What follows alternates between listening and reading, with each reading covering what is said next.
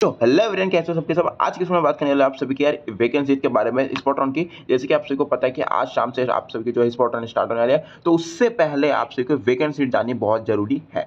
तो लेट्स के start without time waste के। तो सबसे पहले बता दूँ अंबेडकर कैंपस में बीसीए प्रोग्राम के लिए फिफ्टी सीट जो है वो बची हुई है।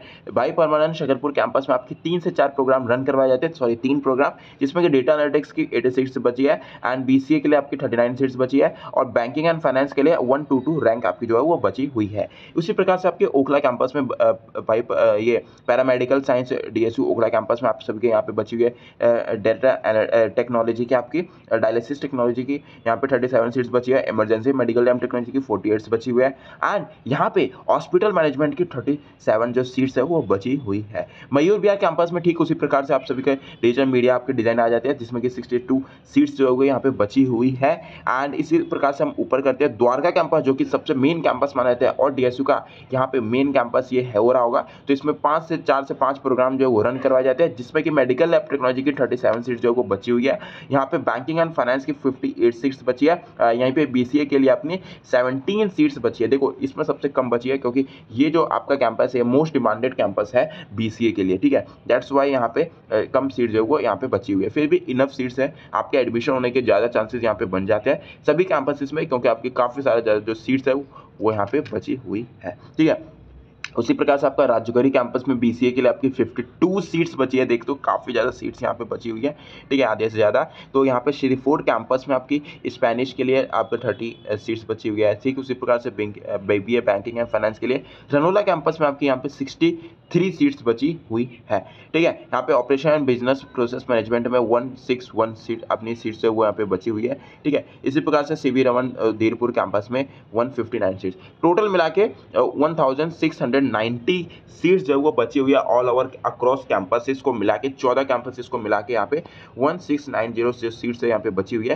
ठीक, उसी प्रकार से आपकी देख सकते हो, उस जिसमें कि आपकी बी के लिए फोर्टी सीट्स आपकी कस्तूरबा के लिए मिली है। तो मतलब कि आपके एडमिशन यहाँ पे होने के चांसेस यहाँ पे बन जाते हैं। लेकिन यहाँ पे कुछ सिनेरियो है, जैसे कि आपको कुछ सिनेरियो बता देता हूँ। जैसे कि एक छः वाला बच्चा है, मान लो छः रैंक वाला बच्चा, और एक पाँच रैंक वाला बच्चा है, ठीक है? तो उस केस में आपके, इस केस में आपको कौन से कैंपस में सबसे पहले जल्दी एडमिशन किसको मिलेगा? यहाँ पे आपके पाँच हज़ार वाले बच्चों को एडमिशन मिल रहा होगा। क्योंकि अगर कम्पीट कंपटीशन में दोनों बच्चे हैं, पाँच हज़ार वाले और छः हज़ार वाले रैंक वाले तो उनका क्योंकि सिंस जितनी कम रैंक होती है, उतनी जल्दी पॉसिबिलिटी आपकी रैंक एडमिशन होने की ज़्यादा चांसेस होते हैं। तो दैट्स वाई आपके पाँच हज़ार वाला रैंक जो है, यहाँ पे विनर हो जाता है और उसका एडमिशन पहले होगा एज कंपेयर टू छः हज़ार रैंक वाला बच्चा, ठीक है?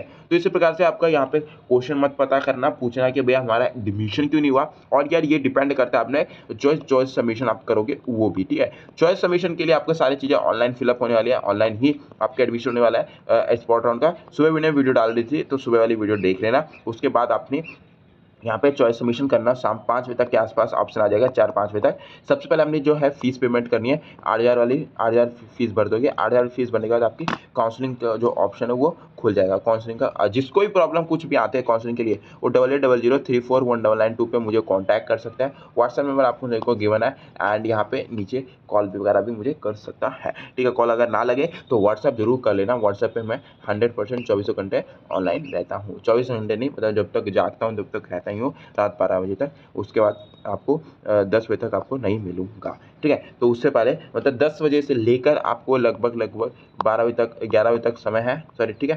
एंड इस समय आप मुझे कांटेक्ट कर सकते हो व्हाट्सएप पे। ठीक है? फ़िलहाल टेक के सी एवर डे मिल जाए वीडियो में शानदार शायद वीडियो अगर अच्छी लगी हो तो अपने दोस्तों के साथ शेयर कर देना, जिससे कि उनके पास भी इन्फॉर्मेशन पहुँच जाएगी इतनी सीट्स जो हमारे पास वीकेंड है।